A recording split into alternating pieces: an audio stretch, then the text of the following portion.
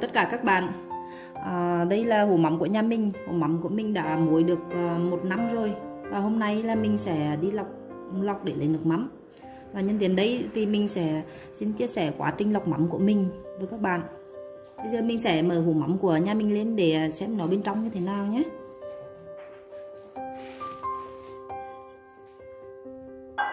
Mắm mình bịt kín cái mà sờ ruồi nó bay vô.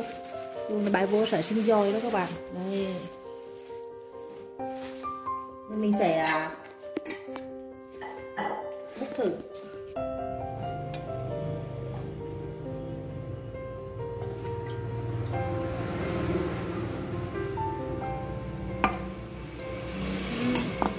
Đây là nước mắm của nhà mình do cái hủ của nhà mình à, không có cái miệng à, không có cái vị để mà mà đe cho nên nó là nước nước mắm nó bị đục thế này.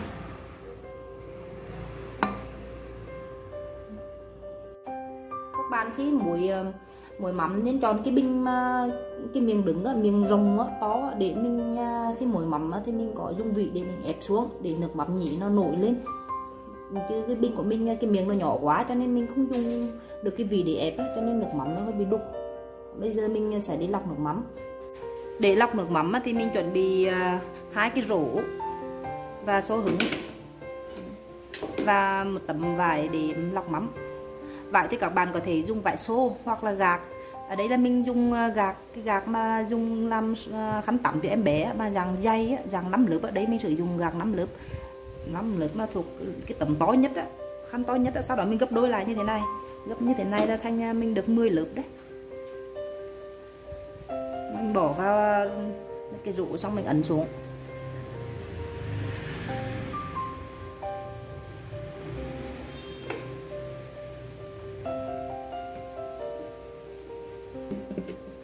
Theo mình sẽ đổ mắm vào.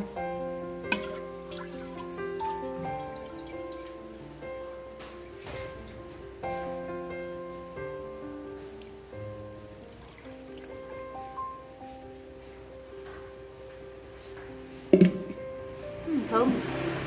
Mắm thơm dễ sợ.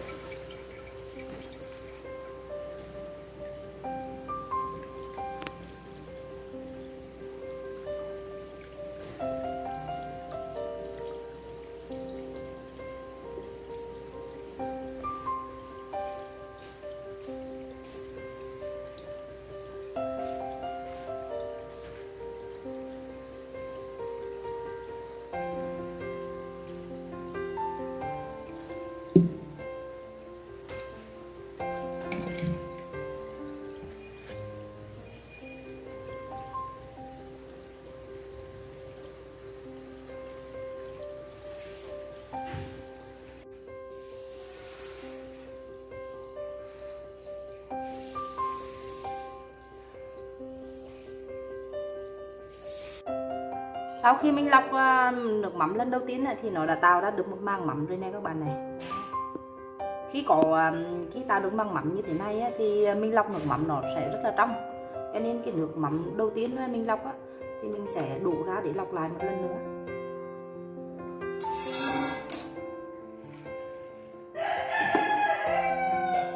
Vì chưa có cái màng mắm cho nên là nước mắm à, đầu tiên của mình nó chưa được trong lắm này các bạn này.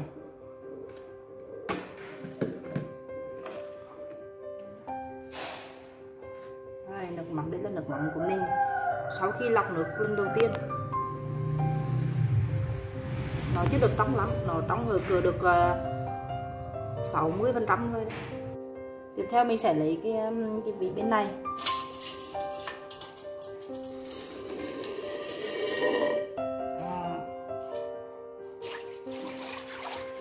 Đã chưa?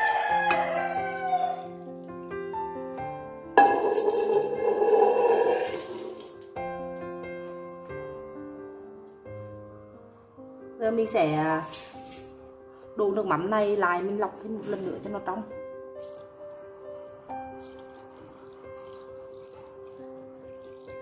Mang mắm ờ, ở trên cái vỉ mang mắm ở trên cái, cái, cái khăn của mình càng dày ấy, thì đổ lọc mắm càng trong đổ trong càng cao đấy các bạn ạ.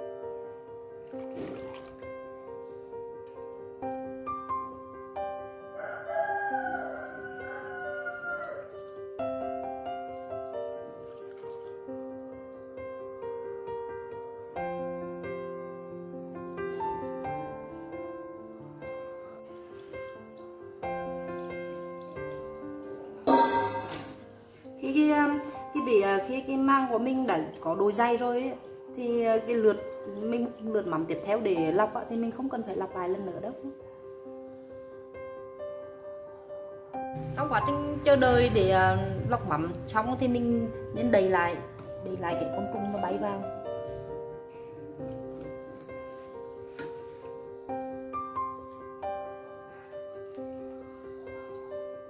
Nước mắm của mình cũng đã lọc được xong một mẻ rồi bây giờ mình sẽ thay ờ, cái thau ở đường dưới để ờ, xem thử nước mắm nó trong như thế nào nhé.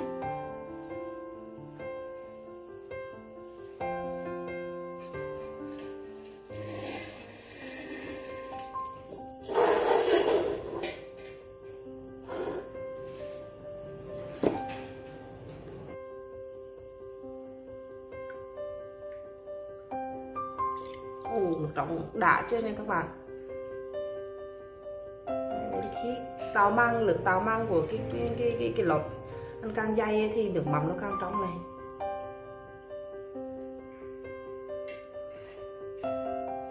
Sau khi nước, nước mắm được lọc trong thì mình sẽ rót vào chai. À, rót chai để đựng nước mắm thì mình nên à, sử dụng cái chai thủy tinh ấy, chứ đừng có dùng chai nhựa vì chai thủy tinh nó bảo quản nước mắm được lâu và ngon hơn. Thì mình để trong chai nhựa là nước mắm của mình sẽ không được ngon đâu các bạn.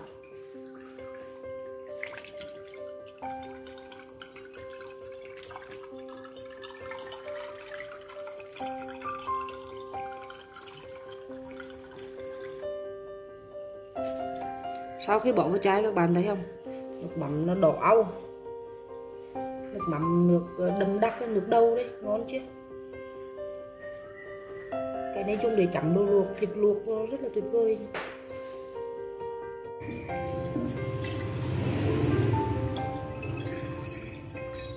Nước mắm của mình muối rất là thơm.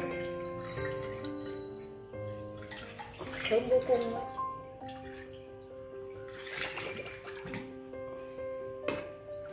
Từ muối nước nóng ở nhà là đảm bảo an toàn đấy các bạn.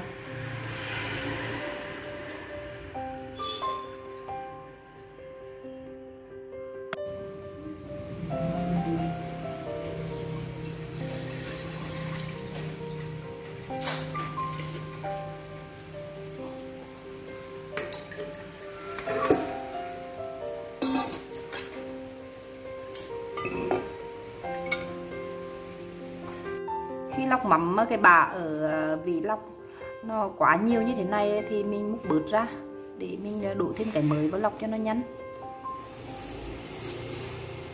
mình múc bớt cái bả mắm ra ngoài.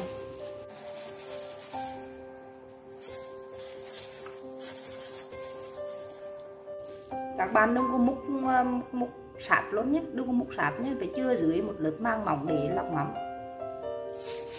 Mình chỉ múc phần phần nhiều trên này đi thôi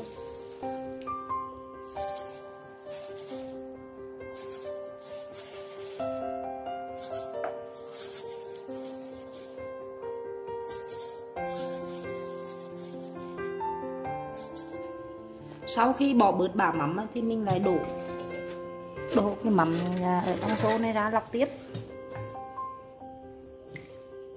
Vì à, cái phần dưới đáy là sạc sạc mắm nó đóng nhiều cho nên mình phải bỏ bớt.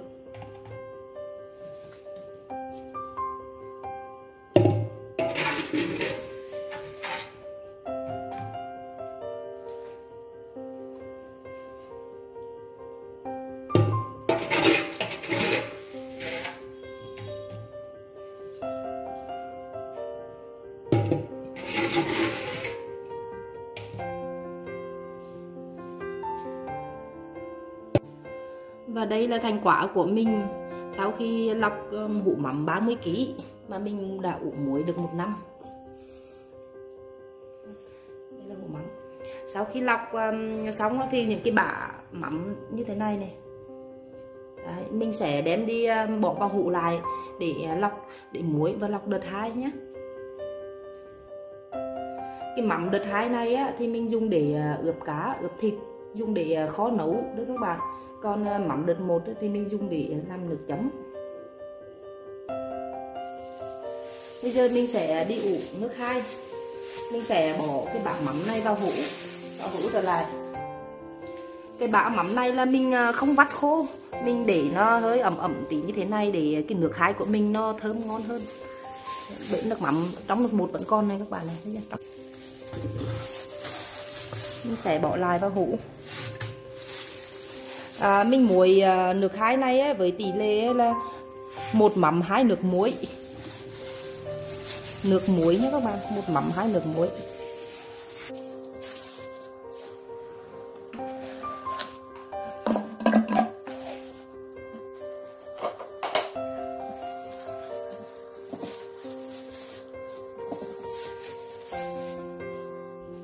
Sau khi đổ bả mắm vào chung để à, muối lần hai ấy, thì mình sẽ tiếp tục đổ nước muối. Với cái chung của mình đấy ấy, thì mình ước lượng gần 5 kg bả mắm. 5 kg bả mắm thì mình dùng 10 lít nước muối. Nước muối ấy, thì mình à, pha với tỷ lệ là 10 20 đến 25 độ mặn tùy theo ờ, sở thích của các bạn thích mặn nhạt. Nước muối thì mình đã nấu cho sôi và để nguội. Chung của mình ờ, 5, 5 lít 5 kg bả mắm thì mình đổ với 10 lít nước. 10 lít nước này thì mình nấu với 2,5 kg muối. Mình đổ mình đã nấu và để nguội bây giờ mình sẽ đổ vào.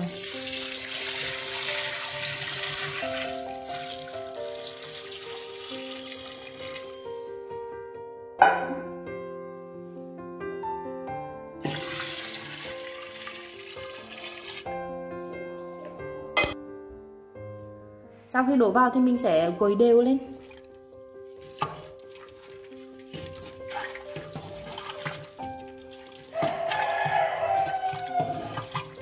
Mình quấy đều xong mình đem ờ, mình bưng hủ bưng cái chung này ra ra nắng, mình phơi nắng 10 ngày nhé mình phơi nắng 10 ngày là mình sẽ mình sẽ đem đi lọc được. Bây giờ mình sẽ đầy kín và đi phơi nắng. Phơi nắng 10 ngày sau mình sẽ được đi lọc. Rồi chúc các bạn thành công với ờ, việc ủ mắm. Cảm ơn các bạn đã theo dõi và ủng hộ. Tạm biệt các bạn.